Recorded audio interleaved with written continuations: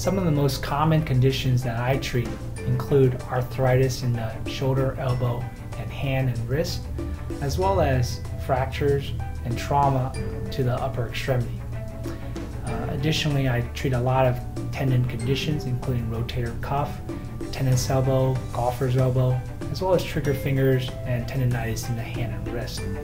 Many of these conditions can be treated appropriately with non-surgical methods, including injections, as well as therapy and other, other methods. As a last resort, we do rely on state-of-the-art surgical techniques that can help alleviate the symptoms and improve your function.